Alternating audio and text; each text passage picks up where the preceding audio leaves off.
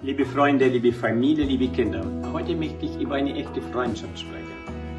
Über eine echte Freundschaft, die nicht nur dann ist, wo alles gut ist oder vielleicht, wo man Schwierigkeiten miteinander auch durchgelebt hat und doch also nahe geblieben ist, vielleicht miteinander gebetet hat in schwierigen Situationen oder etwas Wunderbares erlebt. Freunde, das ist ein wunderbares Geschenk Gottes. Aber Freunde sind auch dann wichtig, wenn sie dir sagen können, wo du falsch was getan hast. Und dazu lese ich eine interessante Geschichte aus äh, 2 Samuel über David, wo er auch gesündigt hat. Ja, er hat mal gesündigt und hat schwer gesündigt. Ja, es ging mit dieser Frau, die schon verheiratet war. Dann, wo es also klar wurde, dass sie ein Kind gebären wurde, dann hat er sich bemüht, auch von dem Mann loszuwerden. Letztendlich hat er ihn mit anderen Händen getötet. Und es war etwas Schreckliches für diesen guten Mann David. Der Mann nach dem Herzen Gottes, der eigentlich, wo wir lesen seine Psalmen, wo wir lesen sein Leben, wir bewundern ihn.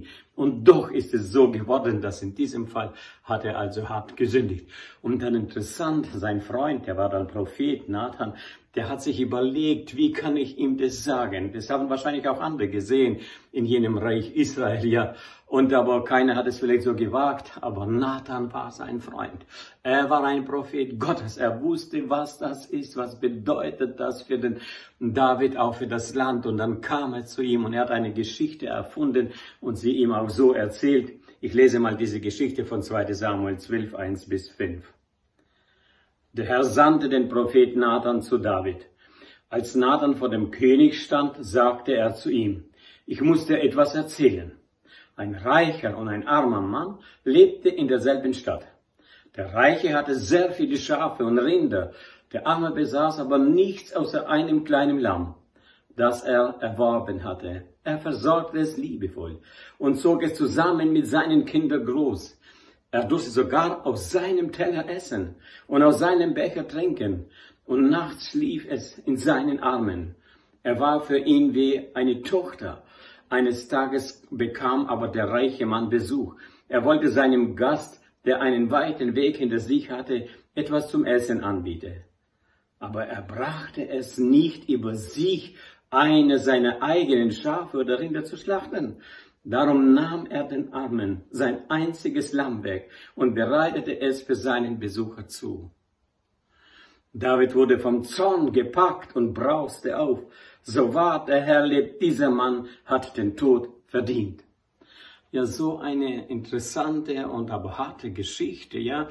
Und Nathan, der gut David konnte, der der wusste, wie David auch Schafe liebte. Er war ein Schafhirte in seiner Jugend und er konnte die Schafe bewahren, behüten. Er hat mal sein Leben riskiert, hat mit dem, mit dem Löwe oder mit einem Bär gekämpft für seine Schafe. Und jetzt irgendwie sieht er diese Situation, wo einer ein Schäfle hat, er so liebt. Und es wird ihm weggenommen von einem anderen reichen Mann, der eigentlich viel Schafe hat. Und es hat ihn so bewogen und er zergrimmte in sich und sagte, dieser Mann ist des Todes schuldig. Und dann sagt Nathan, du bist der Mann.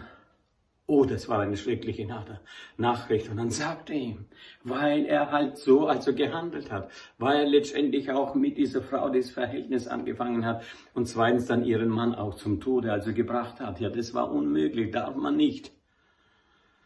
Du bist doch ein König, schau mal, was, was, was da ist, ja. Und äh, David, der zerbrach in sich selber. Er sah erst, erst dann, was er gemacht hat. Und dann bat er auch um Vergebung und im 13. Vers vom 12. Kapitel heißt es, der bekannte David, ich habe gegen den Herrn gesündigt.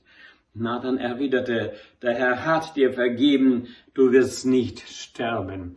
Ja, das Kind musste sterben, das dann geboren ist. Da sind noch viele Sachen im Leben von David auch deswegen schief gegangen. Aber interessanterweise, Gott hat ihm vergeben und er sah, es war nicht nur gegen Menschen eine Sünde, aber auch gegen Gott. Der Grund war aber, dass sein Freund kam zu ihm.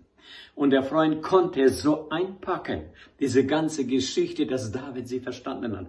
Dass David verstanden hat, dass er so böse gehandelt hat. Dass er so gesündigt hat gegen Gott, gegen Menschen. Und dann bittet er um Vergebung. Wir wissen, er lag und hat mit Asche seinen Kopf hat bestreut. Er war wirklich, es hat ihn so sehr mitgenommen, wie er das nicht gemerkt hat. wo er wirklich sagen sollte, nein, das darf ich nicht machen. Aber er hat's getan. Und was soll passieren? Was soll dann passieren, wenn bei Menschen etwas, sowas passiert ist und er hat wirklich auch so hart gesündigt?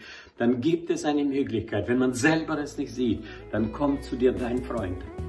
Und ein Freund, der überlegt sich wirklich, wie er das dir sagt. Nicht einfach auf den Kopf hinschlagen, aber vielleicht überlegen und sagen, so wird David verstehen meine Rede. Und dann bringt er es und sagt es so und David hört zu. Und er nimmt es an und das reute ihn. Er weint, er muss wirklich darüber nachdenken, was er getan hat. Und dann kommt zu Gott und bittet um Vergebung. Letztendlich Gott vergibt ihm. Er muss aber tragen auch das, was passiert ist durch diesen Vorfall.